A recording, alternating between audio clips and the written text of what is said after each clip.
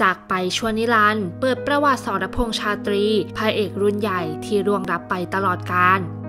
ถือเป็นอีกหนึ่งข่าวเศร้าครั้งใหญ่ของวงการบันเทิงไทยสำหรับการสูญเสียพระเอกนักบุญสรพงษ์ชาตรีที่จากไปอย่างสงบในวัย 71 ปีด้วยโรคมะเร็งที่รุกรามท่ามกลางความเสียใจของแฟนๆ มากมาย วันนี้จึงขอถือโอกาสย้อนประวัติ และเส้นทางชีวิตในวงการบันเทิงของสรพงษ์ชาตรีมาให้ได้ชมกัน โดยสรพงษ์ชาตรีเกิดวันที่ 8 ธันวาคม ปี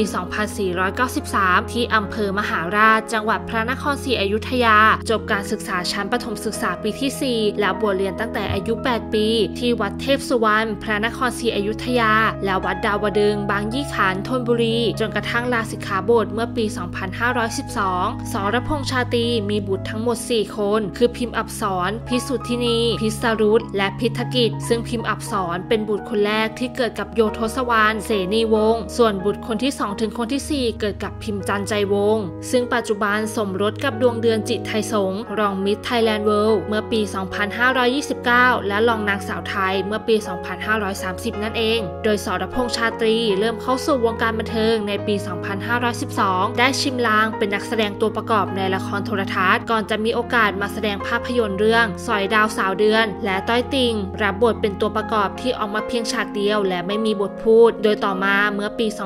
2513 สรพงษ์ชาตรีได้แสดงภาพยนตร์เรื่องที่ 3 นั่นก็คือเรื่องฟ้าขนอง ซึ่งยังเป็นตัวประกอบที่ไม่มีบทบาทโดดเด่นประจวบกับวงการภาพยนตร์ได้สูญเสียมิชัยบัญชาไป จึงทำให้ต้องตามหาพระเอกคนใหม่ขึ้นมาประดับวงการ ซึ่งในตอนนั้นท่านมุ้ยหม่อมเจ้าชาตรีเฉลิมยุคนกำลังจะสร้างภาพยนตร์ใหม่เรื่องมันมากับความมืดปี 2514 โดยในช่วงนั้นเป็นจังหวะที่สรพงษ์ชาตรีต้องมาแสดงแทนอุ้ยชยาสุริยัน และในวันนั้นคือจุดเริ่มต้นที่ทำให้สรพงษ์ชาตรีได้กลายเป็นพระเอกมาจนถึงทุกวันนี้ ซึ่งในตอนนั้นสรพงษ์ชาตรีถูกคำสบประมาทมากมาย ว่าเป็นพระเอกไม่ได้ แต่คำสบประมาทเหล่านี้สรพงษ์ชาตรี ก็สามารถลบมันทิ้งไปได้อย่างสำเร็จ โดยการพัฒนาฝีมือ และทุ่มเทต่อการแสดงจนเป็นที่ประจักษ์โดยภาพยนตร์ที่สร้างชื่อ จนสามารถคว้ารางวัลตุ๊กตาทอง เป็นครั้งแรกให้กับสรพงษ์ชาตรี ได้แก่ภาพยนตร์เรื่องชีวิตปาศพกับสัตว์มนุษย์ และมีชื่อเสียงไปในต่างประเทศ จากภาพยนตร์เรื่องแผลเก่าในปี